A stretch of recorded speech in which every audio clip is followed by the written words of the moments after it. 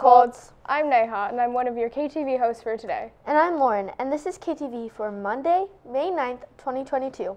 Let's start off today's episode with a friendly reminder to get your overdue library books in so other people can enjoy them. Thanks, Neha, for that friendly reminder. As boring as that sounds, we have some fun things coming up. This Friday is Friday the 13th. Make sure to watch a scary movie. As fun as that sounds, this Friday the 13th is also Sports Day. Let's watch a video from leadership about it. Kolts, Sports Day is on Friday the 13th. Make sure to show your spirit by dressing up in all your sports gear.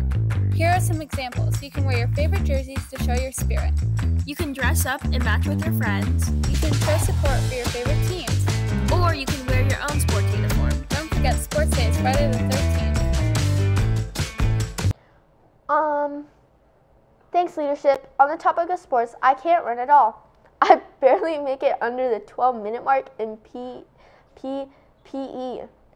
You can barely make it under the 12 minute mark? well, same. Let's head into the sports corner with Caleb to see how we can get those times up.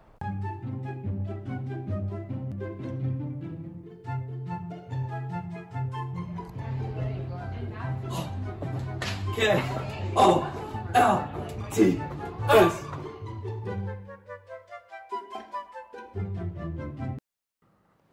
Good morning, Kolts, and welcome to the Sports Corner. In Kenilworth sports news, last Thursday, the Kolts track team finished off their season in great form. Both girls' teams added pennants to our gym, with the 8th grade boys came, coming in second and the very small 7th grade boys team placing third. Highlights of the 7th grade girls' wins include 7 out of 10 first place finishes. Isabella Ferrando only wanted blue ribbons and anchored the 4x100 te relay team to first place winning the 100 and the high jump. Sienna Vital got her share of ribbons, helping the 4x100 team, taking first in the 400, third in the 200, and fifth in the 100. Bertha Ars took two first places in the 4x100 and 200. Vivian Fan was the fourth member of the 4x100 team, fourth in the 200, and sixth in the 100. Ava DeRosa, Brooklyn Bashkarini, Hallie Bushy, and Freya Hurley combined to win the 4x100 relay. Emma Weinzinger and Elodie Webb went first and second in the shot put, with Hadley getting fourth. Haley Martin powered home a third in the 1600 with Isabella Woldemore right behind her. Isabella also added a third in the 800. Tomorrow, we will highlight the 8th grade girls' accomplishments. In other, worth, in other Kenilworth sports news, remember Kolts, the Trevor Smith Wrestling Camp is going on from today to Thursday at 3.30 to 5 in the multi, open to all students. Remember, you don't have to have prior wrestling experience to go.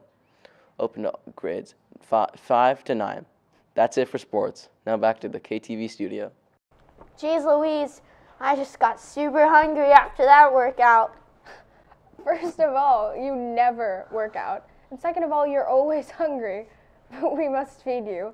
So you have the choice of pepperoni pizza, chicken sandwiches, cheese and green chili tamale, and sun butter and jelly sandwiches. Hmm, I'll take the pepperoni pizza. Sounds delicious. But Neha, I can't eat if I'm cold. I have one thing to say, Lauren. Suck it up. Well, let's just go into the weather studio with Kira if you're so picky about the weather.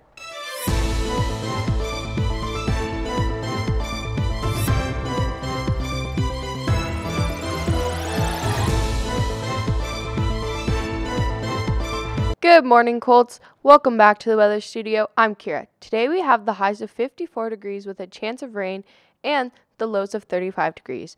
On Tuesday, we will have the highs of 56 degrees again with also a chance of rain and the, the lows of 38 degrees. On Wednesday, we have the highs of 62 degrees with sunny weather and the lows of 40 of 41 degrees. On Thursday, we have the highs of 63 degrees with the lows of 42 degrees with partly cloudy weather.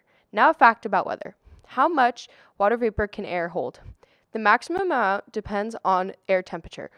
Warmer air can hold more water vapor within it. That's why the muggy days usually happen during summer heat. As the temperature goes down, air can hold less vapor and most of it turns into liquid. That's it for weather. Kolts, remember to bring a jacket on Monday and Tuesday. Let's head back to the studio with Neha and Lauren. Thanks, sounds Kira. Th- thanks, Kira. Sounds like reasonable weather to eat in, if I do say so myself. Really? You're still stuck on that. Anyways, I wonder if it was cold in the Battle of Vicksburg. So let's go The Battle of Vicksburg began on May from Kevin. 18, 1863, during the Civil War. Vicksburg had a very strategic position as to give control over the Mississippi River. Supplies, communication, and goods were on. This is one of the most important battles in the war. After a 47 day siege, the Confederacy surrendered to the Union on July 4, 1863. The Confederacy suffered heavy casualties, losing many more men than the Union. This was a turning point in the Civil War, a crucial victory for the Union. Thanks, Kevin. That's all for KTV today. Remember to get all overdue library books in. And remember to that Friday the 13th is going to have the sports day on it and it's also going to be a day where you can watch scary movies. And also remember that the weather is okay to eat in. Whatever. And that's KTV.